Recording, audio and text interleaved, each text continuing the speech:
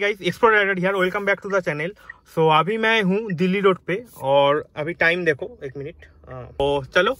Actually ये मेरा जो वीडियो है आ, तो मैंने तो बोला था जे हाँ टाटा पंच में फॉगलाइट उतना ज़रूरी नहीं है मतलब अकॉर्डिंग टू मी बट बहुत लोगों ने बोला हाँ फॉगलाइट का एक वीडियो दो मतलब कितना क्या ब्राइटनेस है क्या नहीं. तो उसके लिए ही मैं एक बार दिखा देता हूँ। अभी मैं मतलब दिल्ली रोड के एक साइड पे हूँ।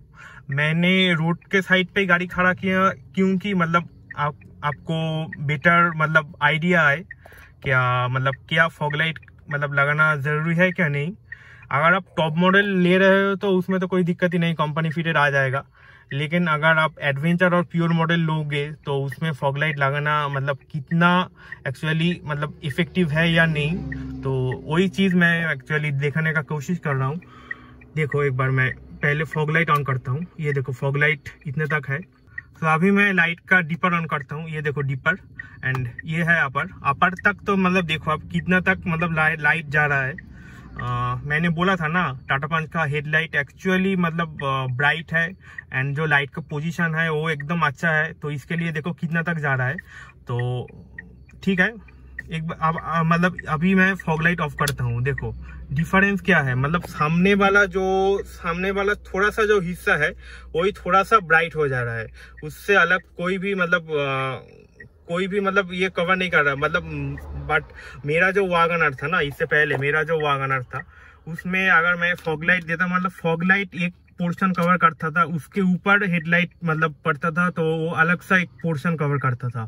बट ये टाटा पंच में ऐसा नहीं है। आप देखो टाटा पंच मतलब जो फॉग लाइट वाला जो हिस्सा है, वो डीपर लाइट का जो हेडलाइट का डीपर है, वो ही कवर कर रहा है। हाँ थोड़ा सा ब्राइटनेस कम है। अगर फॉग लाइट अगर जला दोगे तो इधर थोड़ा सा आपको ब्राइटनेस ज़्यादा मिलेगा। तो यही एक बात है।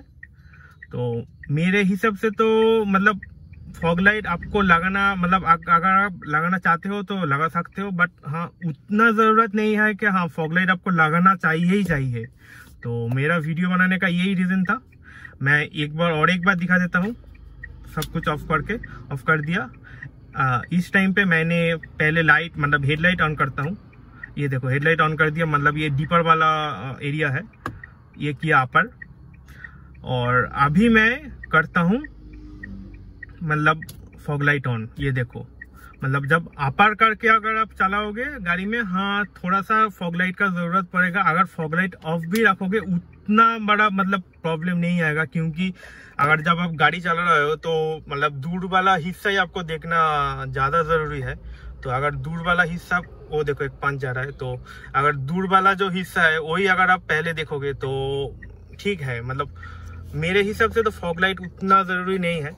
आप देख लो आप, और ये है dipper and fog light off कर दिया था। फॉग लाइट ऑन करते हो। अगर मतलब डीपर में तो फॉग लाइट का कुछ भी ज़रूरत नहीं है, आप देखो। फॉग लाइट इसमें मतलब कोई कोई भी ज़रूरत नहीं है। जो नॉर्मल ब्राइटनेस था, वैसा ही ब्राइटनेस है। थोड़ा सा मतलब फाइव परसेंट इंक्रीज हो गया।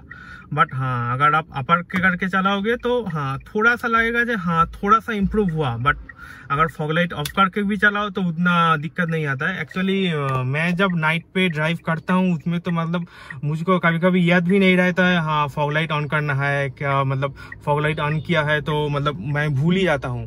बट ऐसा वागनर पे नहीं था। मतलब वागनर पे अगर मैं अपर करके चलाता था ना, उस टाइम पे फॉगलाइट का ज़रूरत पड़ता ही पड़ता था एक्चुअली तो यही एक बात है एक्चुअली मतलब नॉर्मल जो हैचबैक का गाड़ी है, उसमें हेडलाइट थोड़ा सा ऊपर एक्चुअली पोजीशनिंग है बट टाटा पंच का हेडलाइट अकॉर्डिंग टू मी एकदम बेस्ट एरिया पे मतलब पोजीशन किया है। तो इसके लिए फॉगलाइट का उतना ज़रूरत नहीं है। अगर हाँ आप कर लगाना चाहते हो तो लगा सकते हो क्योंकि कोई कोई गाड़ी में तो फॉग लाइट अभी दे दे भी नहीं रहा है। एक्चुअली ग्रैंड वीटर मारुति का जो है उसमें तो फॉगलाइट का ऑप्शन भी एक्चुअली आई थिंक नहीं है। सो so, अगर वीडियो अच्छा लगा तो लाइक कर देना चैनल को सब्सक्राइब कर देना। Thank you